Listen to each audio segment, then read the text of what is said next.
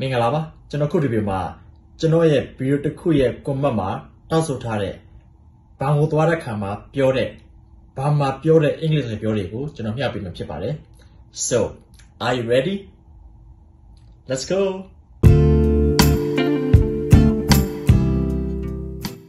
ဘန်ကိုရောက်တဲ့ခါမှာဘာဝန်တန်းကကျွန်တော်တို့ဘာကူညီရမလဲလို့မေးပါလိမ့်မယ်အဲ့ဒီချိန်မှာကိုက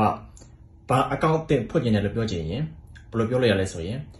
I want to open a new bank account I want to open a new bank account ကျွန်တော်ဘာအကောင့်သစ်ဖွင့်ချင်လို့ပါကျွန်တော်တို့ဘာအကောင့်မှာလဲကျွန်တော်တို့အမျိုးအစားတွေအများရှိပါတယ်အများဆုံးသုံးပြတာကတော့ကျွန်တော်တို့ saving bank account နဲ့ checking bank account ဆိုပြီးရှိပါတယ် saving bank account ကတော့ကျွန်တော်တို့ငွေစုတဲ့ခါမှာသုံးတဲ့ bank account ဖြစ်ပြီးတော့ checking bank account ကတော့ကျွန်တော်တို့နေ့စဉ် ဘဝမှာအသုံးပြုတဲ့ခါမှာနေတိုင်းနေတိုင်းအသုံးပြုတဲ့ခါမှာသုံးတဲ့ bank account ဖြစ်ပါတယ်။ဥပမာဘာဝန်တန်းကဘာ account ဖွင့်ကြတာလဲလို့မေးကြည့်ရင်ကိုကကျွန်တော်တို့ saving account ဖွင့်ကြတယ်ဆိုရင် I want to open a saving fund account I want to open a saving fund account ကိုကကျွန်တော်တို့ checking account ကိုဖွင့်ကြတယ်လို့ပြောကြည့်ရင် I want to open a checking bank account I want to open a checking bank account လို့ပြောရပါတယ် ကျွန်တော်တို့ဘာအကောင့်ဖွင့်ပြီးတော့ကျွန်တော်တို့ဘာနဲ့မှလစဉ်ပိုက်ဆံတွေစုပြီးဆိုတော့ကိုကငွေသုံးလို့တဲ့ခါမှာဘာမှသွားပြီးတော့ပတ်စံထုတ်မှာပဲအဲ့ဒီချိန်မှာဘောင်ရောက်တဲ့ခါမှာဘောင်ဝန်ထမ်းကကျွန်တော်တို့ဘာကူညီရမလဲလို့မေးပါမယ်အဲ့ဒီချိန်မှာကိုကပိုက်ဆံထုတ်ချင်လို့ပါလို့ပြောချင်ရင် I want to withdraw some money I want to withdraw some money ကျွန်တော်ပိုက်ဆံထုတ်ချင်လို့ပါပြီးတော့ဘောင်ဝန်ထမ်းက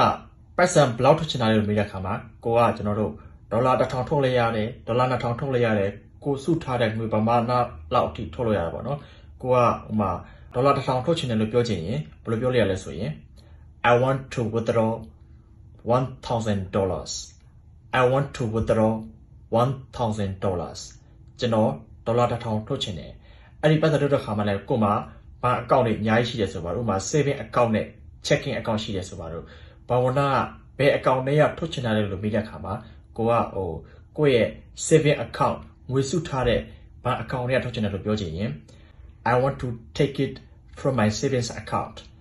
I want to take it from my savings account ကျွန်တော်ရဲ့ဒါငွေစုထားတဲ့ account တွေကနေပတ်စံထုတ်ချင်ပါတယ်ကိုကတခြားလူတွေစီကိုပတ်စံလွှဲချင်တယ်လို့ပြောချင်ရင်